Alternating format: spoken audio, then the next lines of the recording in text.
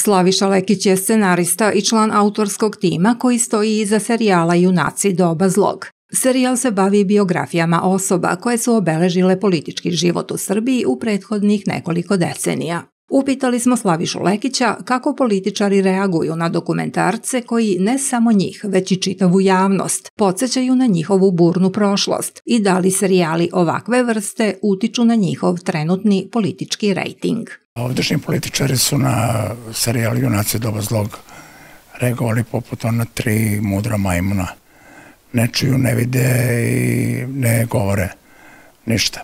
A, poučeni verovatno iskustvom kad je emitovan film Vladalac, kad su svojom galamom i hajkom na autori i sagovornike digli neviđenu medijsku pompu, sad se odlučili da mudro čute.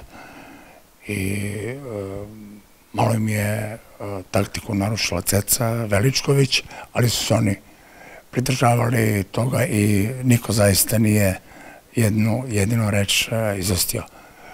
Da li utiče na rejting, njih to mnogo m, ne pogađa. Zašto bi naša emisija o Ivici Tačiću njemu srošila rejting kad ne može snimak bije gde sedi sa kriminalcem koji je na, na poternici ili zašto bi Siniša Mali brinuo o svom rejtingu zbog naše emisije kad je dokazano da je plagirao naučni rad znači pokroj tuđi rad, a kao takav dokazani lopov sedi u Ministarstvu financije. Serijal Junaci doba zlog, koji je emitovan u osam epizoda, bavio se karijerama političara i estradnih ličnosti koji su opstali na sceni uprkos ratovima i promenama vlasti. Dugogodišnji novinar Slaviša Lekić i jedan od autora serijala u intervju za portal Buka je rekao da glavni likovi serijala postaju akteri društveno-političkih izbivanja ne zbog etičkih sposobnosti i vizije koja preživljava zub vremena, već zbog srodnih sociopata i nedostatka moralnih skrupula.